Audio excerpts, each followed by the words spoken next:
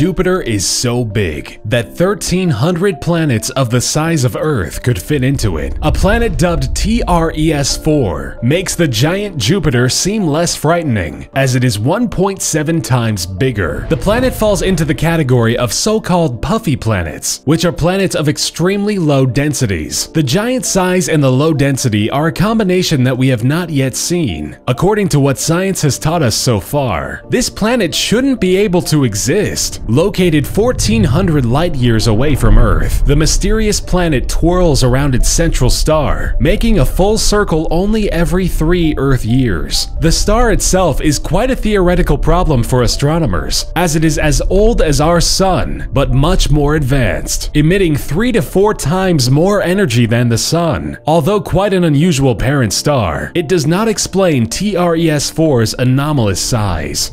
There is a rocky planet orbiting a star 480 light years away, not that much bigger in mass or radius than the Earth. However, the planet seems to be the incarnation of the human idea of hell. The planet is home to rock rains and raging volcanoes. The temperatures vary drastically, with the side of the planet always facing the star reaching the temperatures as high as 2000 degrees Celsius, with the far side of the planet always being under a cold shadow, reaching up to minus 220 degrees Celsius. With a molten surface, this planet is a hellish place, and it has been named CoRoT-7b after the telescope that first discovered it.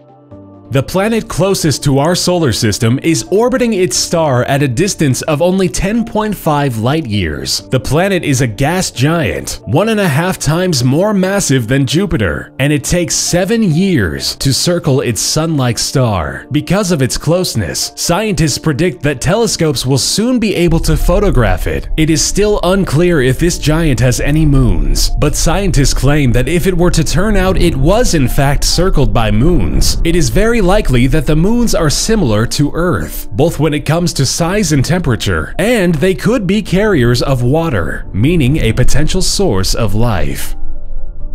4,000 light years from Earth, a diamond planet is orbiting a small star. The giant diamond spinning in space is actually a dead star, and the diamond structure is the result of ultra-high pressures, causing carbon to crystallize. In other words, the dead core of a star is now classified as a planet due to the transformation it has endured. The planet is literally made out of diamonds, and it orbits a dense pulsing star smaller than our sun. It orbits the star in a little more than two hours. Although it has lost a lot of its mass, it is still much bigger than the parent star it orbits. The 55 Cancri e is a planet classified as super-Earth, meaning it's twice the size of our planet, with temperatures that reach 3900 degrees Fahrenheit. The planet is located 40 light years away. Still, its size and mass aren't what actually makes it deserving of the title super. The planet is, in fact, the most valuable place in the universe. The rocky planet is made mostly of carbon, turned into diamond and graphite. If the planet were to be mined, it would be worth a total of 26.9 nonillion dollars. According to Forbes, mining only 0.182% of the planet would be enough to pay back the total debt of all governments in the world.